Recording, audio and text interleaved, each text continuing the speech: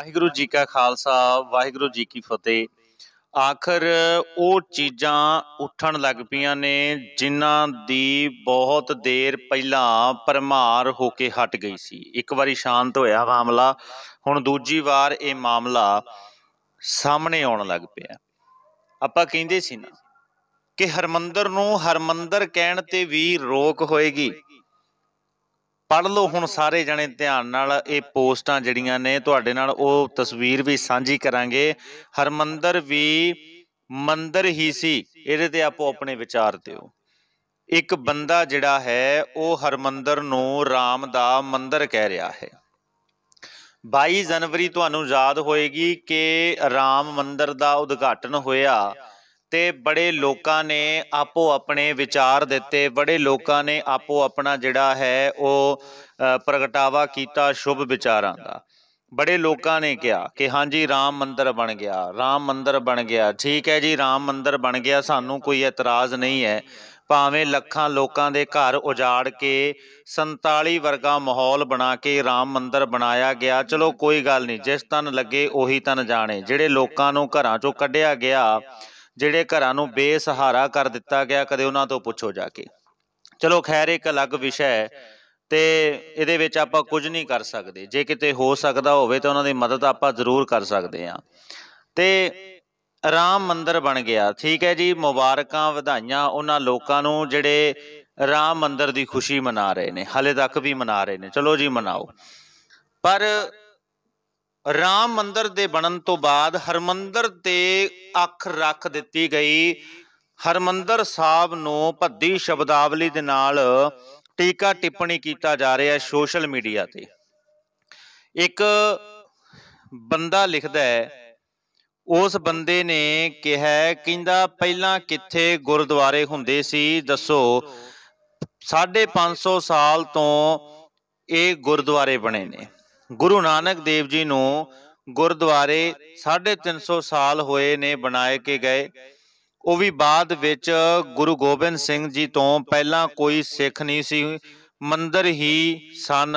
ਹਰਮੰਦਰ ਸਾਹਿਬ ਜਿਹਦੇ ਤੁਸੀਂ ਕਹਿੰਦੇ ਹੋ ਪਹਿਲਾਂ ਮੰਦਰ ਸੀ ਨਾ ਕਿ ਗੁਰਦੁਆਰਾ।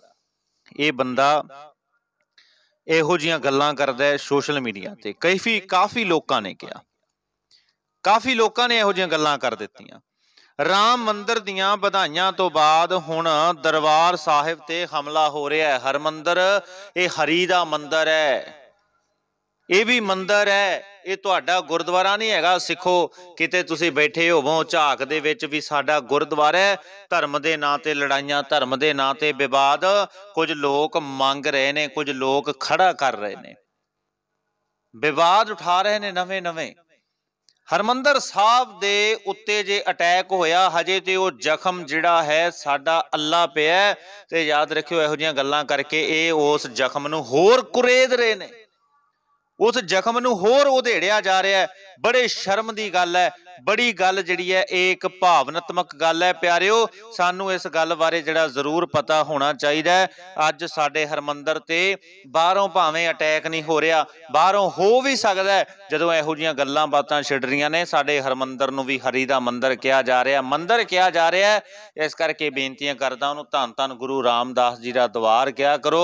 ਉਹਨੂੰ ਅੰਮ੍ਰਿਤਸਰ ਸਾਹਿਬ ਦੀ ਧਰਤੀ, ਗੁਰੂਆਂ ਪੀਰਾਂ ਦੀ ਧਰਤੀ ਪਿਆਰਿਓ, ਹਰਮੰਦਰ ਸਾਹਿਬ, ਸ੍ਰੀ ਦਰਬਾਰ ਸਾਹਿਬ ਕਿਹਾ ਕਰੋ? ਹਰਮੰਦਰ ਨਹੀਂ, ਜੇ ਹਰਮੰਦਰ ਪ੍ਰਚਲਿਤ ਰਿਹਾ ਆਉਣ ਵਾਲੇ ਸਮੇਂ 'ਚ ਲੋਕ ਉਹਨੂੰ ਮੰਦਰ ਦਾ ਨਾਮ ਦੇ ਕੇ ਪ੍ਰਚਲਿਤ ਕਰ ਦੇਣਗੇ। ਬਾਕੀ ਗੁਰੂ ਪਾਤਸ਼ਾਹ ਆਪ ਕਿਰਪਾ ਕਰਨ, ਸੰਗਤ ਸੁਚੇਤ ਹੋਵੇ, ਇਹੋ ਜਿਹੇ ਲੋਕਾਂ ਨੂੰ ਨੱਥ ਪਾਈ ਜਾਵੇ, ਜਿਹੜੇ ਲੋਕ ਧਰਮ ਦੇ ਨਾਂ ਤੇ ਵਿਵਾਦ ਛੇੜ ਰਹੇ ਨੇ। ਹਰਿਮੰਦਰ ਗੁਰੂ ਦੇ, ਗੁਰੂ ਗੁਰੂ ਘਰ ਨੂੰ ਵੀ ਇਹ ਲੋਕ ਵਿਵਾਦਾਂ ਦੇ ਵਿੱਚ ਲੈ ਕੇ ਆ ਰਹੇ ਨੇ। ਇਹ ਕਹਿ ਰਹੇ ਨੇ, ਗੁਰਦੁਆਰੇ ਢਾਹ ਕੇ ਅਸੀਂ ਹਰਮੰਦਰ ਬਣਾ ਦੇਾਂਗੇ ਮੰਦਰ ਬਣਾ ਦੇਾਂਗੇ ਪਹਿਲਾਂ ਵੀ ਮੰਦਰ ਹੀ ਸੀ।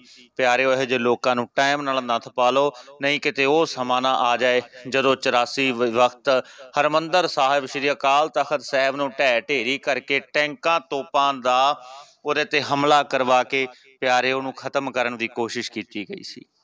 ਯਾਦ ਰੱਖਿਓ, ਭੁੱਲਿਆ ਨਾ ਕਰੋ, ਜਿਹੜਾ ਸਿੱਖ ਭੁੱਲ ਗਿਆ, ਉਹ ਸਿੱਖ ਹੀ ਨਹੀਂ ਹੈ।